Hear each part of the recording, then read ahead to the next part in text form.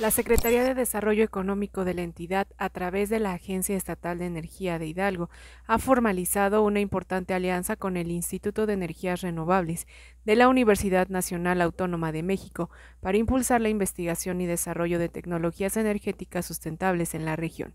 Carlos Henkel Escorza, secretario de Desarrollo Económico de Hidalgo, fungió como testigo de honor durante la firma del convenio de colaboración entre Marina Elizabeth Rincón González, directora del IRU e Ivonne Ramírez Núñez, titular de la AEE. E. Esta alianza estratégica busca implementar soluciones energéticamente eficientes, posicionando a Hidalgo como un referente en la reducción de emisiones de dióxido de carbono equivalente y en el desarrollo de tecnologías avanzadas con una perspectiva global.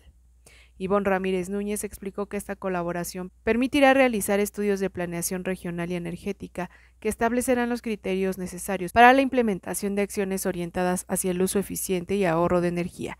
Además, se enfocará en la cuantificación de los recursos solares e hidráulicos en el estado de Hidalgo, con lo cual se sentarán las bases para futuros proyectos de energía renovable.